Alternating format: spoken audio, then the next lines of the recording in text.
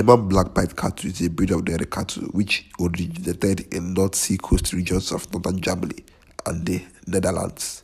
German Black Pied cattle are smaller than the Holstein Friesians but with lower milk volume. Bulls reach a weight of 700 kg, while cows weigh up to 500 kg.